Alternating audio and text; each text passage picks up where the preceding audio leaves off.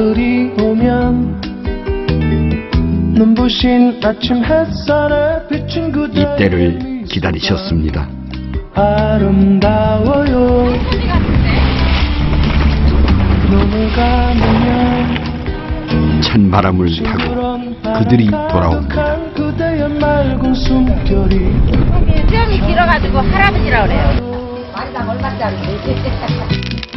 가을 한철 맛보는 고소한 유혹, 바다의 큰 어른으로 대접받아온 귀한 녀석들이 이 가을 우리 밥상을 찾아왔습니다. 하늘을 보면 님의 부드러운 꽃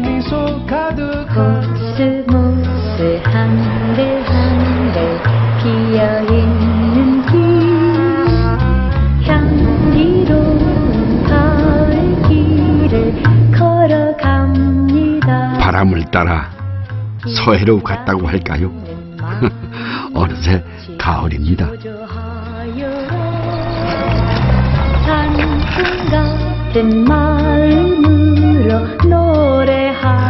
아이고 참 아름답습니다. 에, 계절마다 순서를 정해 아름다운 꽃을 피워주니 참 고마운 일이죠.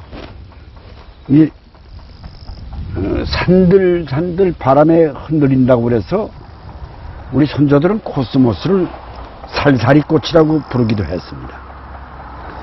그리고 또 이 가을 바람을 한이 바람이라고 그러죠. 서쪽에서 불어온다는 뜻이죠. 아마 저 서쪽에서 가을을 안고 오는 어떤 손님이 있겠죠. 이 풍성한 그 가을 소식을 안고 찾아온 귀한 손님을 한번 만나러 가보도록 하겠습니다.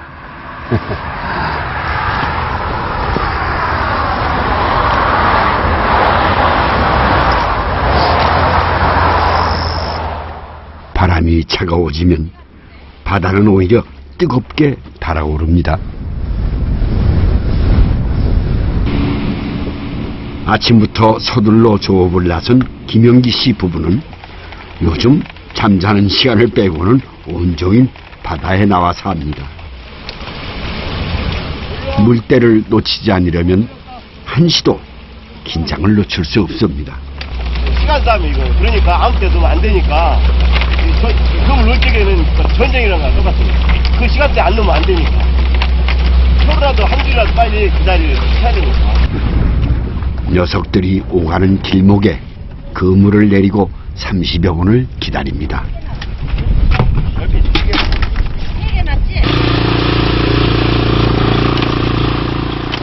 드디어 그 녀석들이 모습을 드러냅니다. 이 가을 서해를 찾아온 귀한 손님 대하입니다.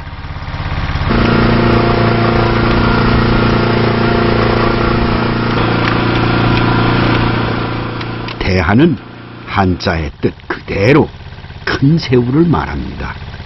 우리나라 해역에서 서식하는 80여 종의 새우 중 가장 몸집이 큰 종으로 보통 길이가 15에서 20cm, 큰 것은 30cm가 넘기도 합니다.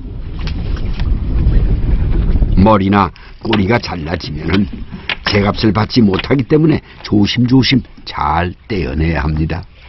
수염이 길어가지고 할아버지라 그래요. 여기 어리도 공부해서.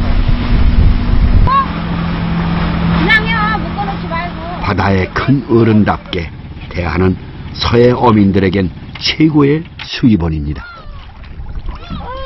철따라 쭈꾸미도 잡고 꽃게도 잡지만 살림에는 가을 대하만 한 게 없습니다. 배고픈 서름이 꽤 길었던 김용기 씨가 남부럽지 않게 살게 된 것도 대하 덕분입니다.